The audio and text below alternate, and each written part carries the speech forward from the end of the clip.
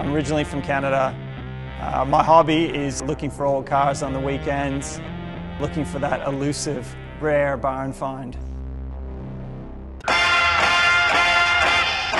Three startups trying to make it in the toughest business district in the world, Wall Street.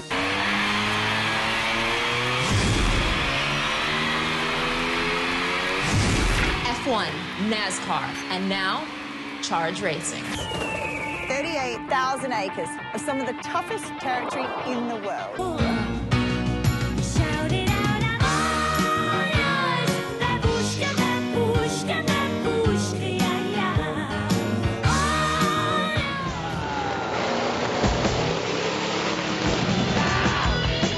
I mean, they get their, their one hand shifting, fishtail too much, go out a little too far and catch, they're going to just roll.